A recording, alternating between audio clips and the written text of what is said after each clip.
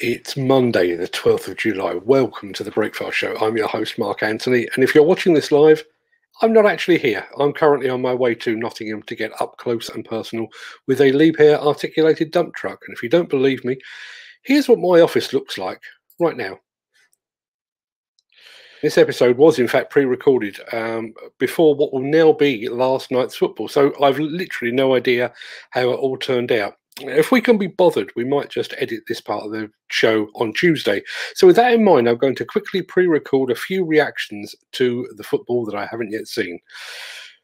Well done, England. After 55 years, you finally brought it home. Well done, Italy. You were the best team in the tournament and no one deserved it more. Referee, were you blind? That clearly wasn't a penalty. VAR finally came in useful. VAR should be outlawed. We deserved that. We were robbed. I think that should just about cover it all. Um, we will get to the news headlines in just a second, but first, let's peek behind the door marked celebrity birthdays to see which of them is celebrating today.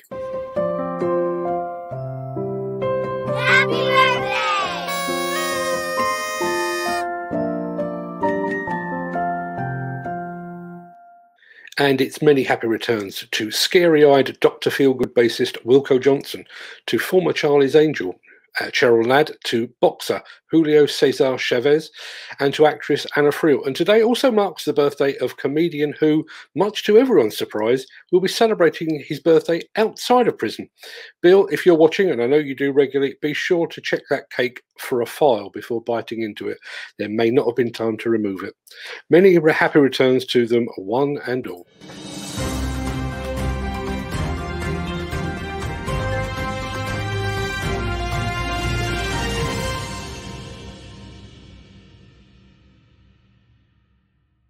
And we start with a news item that really shouldn't be considered a news item at all, but it has apparently caused such a ruckus that it's now impossible to ignore. So, on Friday last week, an item aired on the BBC Breakfast Show. Uh, a rejigged version then appeared in audio form on BBC Radio 2 later in the day. It was an item that was, at best, baseless and at worst, a desperate cry for relevance from a once great institution. Before I start, we need to go back a little bit further. Uh, regular viewers will know that I've been in talks with the BBC for several weeks now. Um, I've been speaking to them on two fronts, actually, uh, and one of them is still in the works, so on that one I'm sworn to secrecy. But the other, it transpires, was the item that was broadcast on Friday. Uh, I was originally approached by the BBC, or by a BBC researcher actually, who wanted to license some demolition news video footage for an item they were working on. Ever curious, I asked them what they needed it for and was told they were working on an item that weighed the environmental benefits of refurbishment over demolition. So I carefully explained how UK demolition companies regularly achieve recycling rates of 95% or more, how the construction sector is ridiculously wasteful by comparison how the UK demolition industry doesn't clear up doesn't just clear a path for uh, new development, but is a key source of secondary materials for that development. I pointed out at some length how explosive demolition accounted for just a tiny proportion of all the demolition carried out on the on these UK shores, and I also suggested they speak to former IDE President Dr. Terry Quarmby, a vocal ad- advocate for an end of life directive for buildings, and a man who has been shouting into the void for years about the need for eventual demolition to be considered even before a new building is committed to blueprint. So, fast forward to Friday morning, and much of what I had told them had been forgotten, overlooked, or far more likely, did not match their environmental agenda. Instead, the BBC handed centre stage to the Royal Institute of British Architects, or RIBA, uh, which, in a desperate bid to remain relevant in the modern age, suggested that all demolition should be banned. It didn't.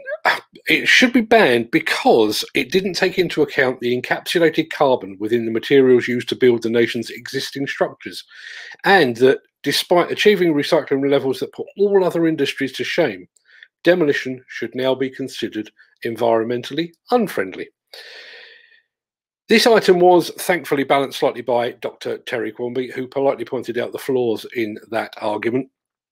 He also pointed out that it was, in fact, the architects, RIBA's own members, that were designing buildings and specifying materials that are difficult, expensive, and even impossible to recycle. Despite Quarmby's protestations, the average BBC viewer probably left the breakfast show convinced that demolition firms were marauding across the landscape, imploding buildings willy nilly, and causing irreparable, irreparable damage to Mother Earth in the process. So, before I go on, and I do intend to go on, let's take a look at this so called news item.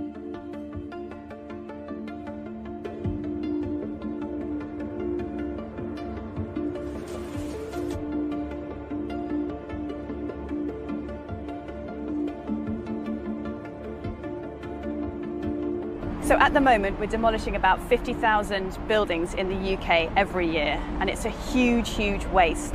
Not only are we losing our historic fabric, but there's a huge carbon impact in terms of embodied carbon. So that's the carbon emitted in creating new buildings, in creating building materials and assembling them, um, and sort of creating that new built fabric we really need to be much more considerate about when we're deciding to demolish a building and when we're retrofitting it, when we're refurbishing it, and when we are disassembling buildings that we should be recovering and salvaging all those materials and reusing them.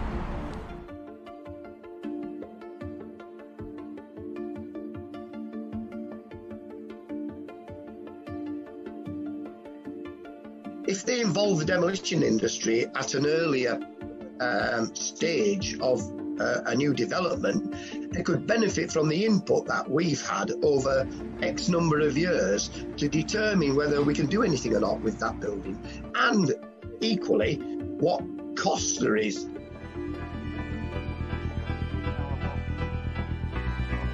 The best thing you can do with buildings like these is blow them up and spend a fortune starting again from scratch.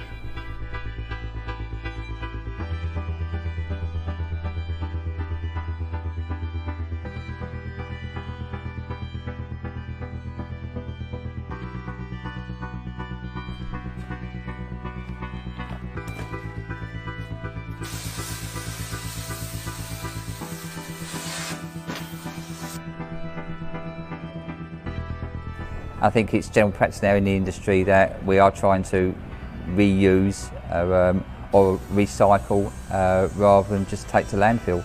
It's easy to say let's knock it down and rebuild it, but these people they, they work hard to try to revive the buildings.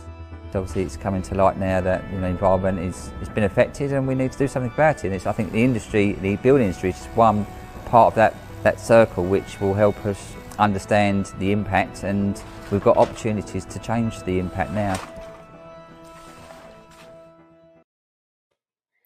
That item was broadcast uh, just before 7am on Friday morning. It would be another five or so hours before the item would re reappear in a slightly different form on BBC Radio 2's Jeremy Vine show.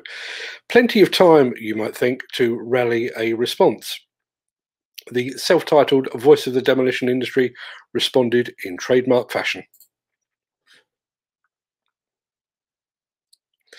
So it fell to the incumbent IDE president, uh, Richard Dolman, to stand up for the demolition sector on the radio and to greet this so called news item with the disdain it so richly deserved. And just to prove how ludicrous this whole thing was, the RIBA man on the radio then proposed what he believed to be a bold new idea that he called deconstruction. Now, if that term sounds familiar to you, it's because it's been a fundamental principle of the demolition industry for decades. Had this buffoon actually stepped outside of his ivory tower and visited a demolition site, he would know that he was talking, what's the expression? Yeah, bollocks. Instead, like so many institutions that are struggling for relevance in this modern age, he reached for the nearest low hanging fruit. He could have played the gender card, or the race card, or the LGBTQ card, or even the mental health card. Hell, he could have even pointed out that an architect designed the new Wembley Stadium that was about to host the most important England football match in 55 years. Instead, he chose to play the environmental card. And the BBC, which is equally complicit in this bandwagon journalism, was only too willing to give him airtime. As I said at the outset, I, I, feel bad that this storm in a teacup is even considered news because it most certainly isn't.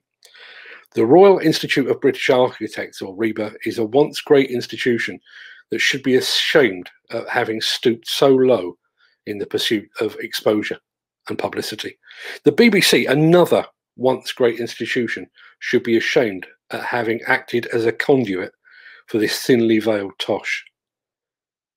And the voice of the demolition industry, also once a great institution, chose only to react after the industry it purports to represent had been lambasted on national TV and radio. And you can make of that what you will. The Miller GT series heralds a new era of unrivaled power and cutting edge intelligent coupler technology, increasing job site safety, machine versatility, and productivity. It's the added versatility that you need at the value you can afford. To find out more, visit millergroundbreaking.com. Back on the 1st of July, uh, the former Monticello power plant in Titus County in Texas was razed to the ground in a controlled explosive event. The demolition was performed by the team at Integrated Demolition and Remediation, or IDR. And IDR's Joe Vendetti, Joe Vendetti a long-term friend of this show, uh, kindly sent us a film of the blast. And I'm very, very happy to share it with you right now.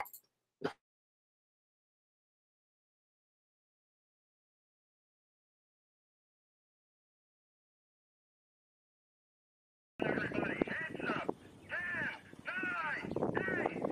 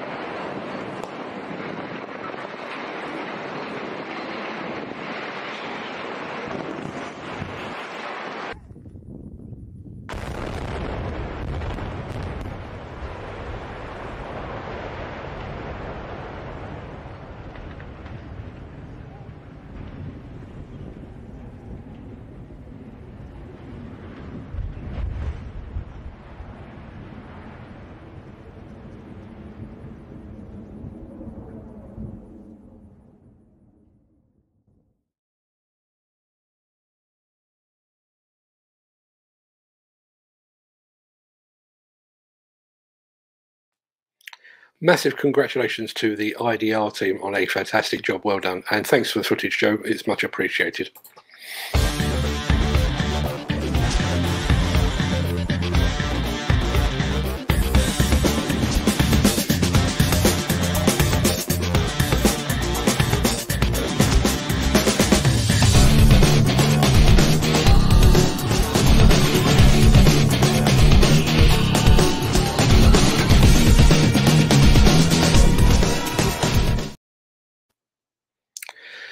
Few months ago, we brought you details of the latest range of wheel loaders to emerge from those fine folks over at Doosan.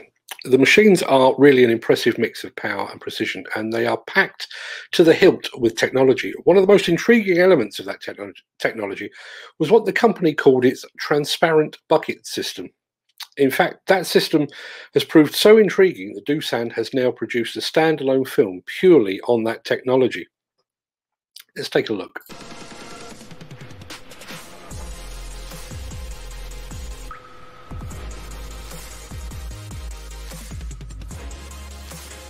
This new exclusive feature puts the safety of people first, and it's made possible using the latest technology.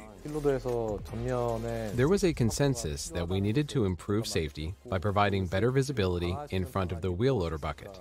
So we started by asking, how could we use technology to do that?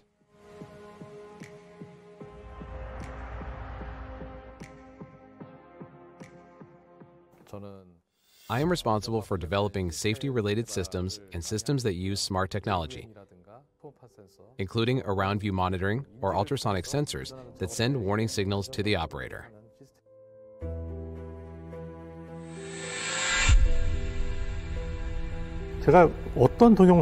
I saw a video where a person was accidentally lifted by a bucket because the operator couldn't see what was in front of the loader. I also saw a loader that was carrying snow drive straight into a car. That's when I realized that we could prevent bucket related accidents by developing technology similar to the transparent hood technology used in the automotive industry. So I worked with our engineers to turn this idea into reality. There can be some distortion when placing one camera on the top of the machine and one on the lower part of the machine. We use what's called the curved projection method to reduce the disparity caused by that difference in height and distance. It's extremely dangerous to drive a heavy machine with limited visibility, even more so when the operator can't see what's directly in front of the machine. So the transparent bucket is an important solution to help alleviate that danger, and a technology that can help increase safety when operating wheel loaders.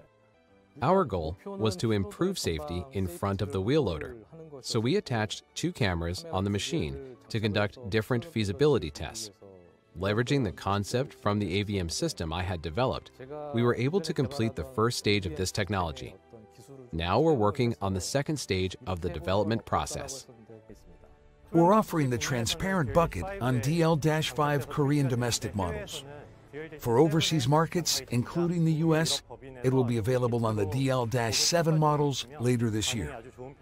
We've installed the buckets in the US and in Europe and are getting feedback from customers. The responses are very positive, including from the Construction Equipment Press in the UK, who reported that this technology isn't the result of desk research, but rather a preemptive solution created by understanding the needs of the operators. We're getting inquiries about when this feature will be available to order. Even emerging markets are asking when this option will be available in their region. It's clear that this safety feature will set a new safety standard.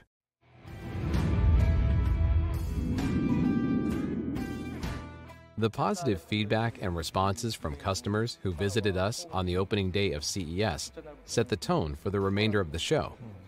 An executive of a major automotive component company who is in charge of product development was quite surprised by our technology, especially because it was further along in development than expected and it wasn't coming from the automotive industry, but from the construction equipment industry. I think people were also surprised that the technology used wasn't from a parts manufacturing company, but one that had been developed almost completely on our own.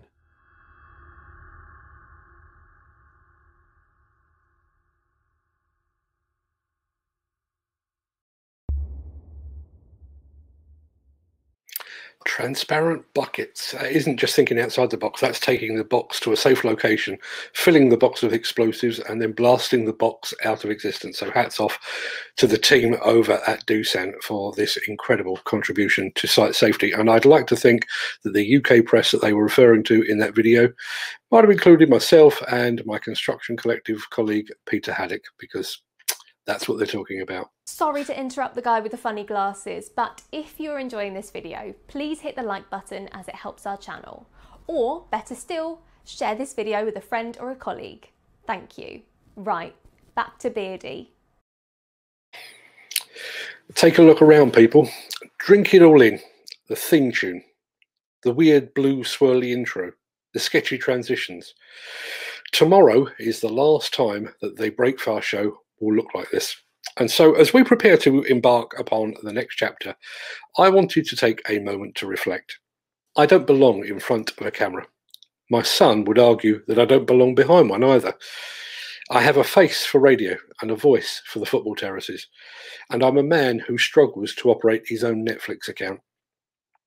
But when it became clear that the COVID 19 pandemic was not going anywhere anytime soon, I, like so many others, realized that I needed to pivot. I also realized that the demolition industry is modern and dynamic.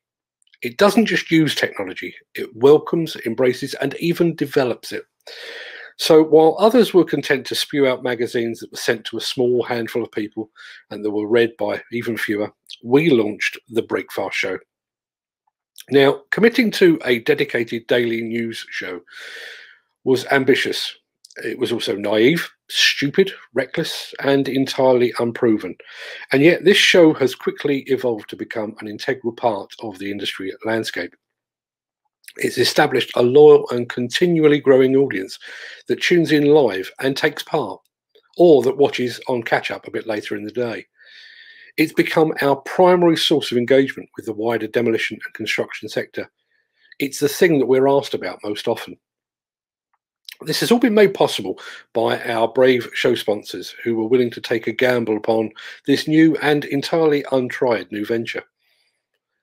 And it continues to be made possible by the engagement and participation of you, our audience. Without exception, every single one of our soon to be 100 shows has benefited from some form of contribution from our live audience. Some of those viewers now tune in with such regularity that they actually send me uh, messages of apology when they know they're going to miss an episode. The Breakfast Show is not publishing and it's not broadcasting. We're not sending a message out to unnamed people that never asked for it and, and expect advertisers to finance it. The Breakfast Show is a discussion group, a meeting of minds. The, Breakfast Show is a two way street in which, rightly, the opinion and thoughts of our viewership are way more important than my own. The Breakfast Show is a community. We've come a long way since our first episode uh, on the 22nd of February this year. We've now, as I'm talking, we've now produced 98 episodes, and this is the only the second time we've been forced by diaries to pre-record. That equates to more than 24 solid hours of live broadcast news, views, video, and opinion. But that first 98 shows were merely practice. A dry run to, designed to gauge audience response and to perfect the technology and the show format. Starting Wednesday, that's the day after tomorrow, we're parking the RB and wrecking ball combo and we're stepping into a brand new high reach excavator, fully loaded with GPS, Wi Fi, Bluetooth, and quite possibly transparent bucket technology as well. I hope you can join us. Right, unless there's any other business, uh, I will declare this episode of the Break Show, Breakfast Show well and truly adjourned. I'll be back here tomorrow, live and in person, uh, to clear out the old and make way for the new, and to bring you the latest and greatest news in the industry. But until then, have a great day. Stay safe. Look after yourself, your family, your friends, and your colleagues. And I won't see you in the chat afterwards uh, because, as I pointed out, I'm not actually here. Um, which some might argue is a good thing. Uh, but I'll be back again tomorrow, uh, and I will be in the chat to wave goodbye to the old before we pipe in the new. Thanks for watching.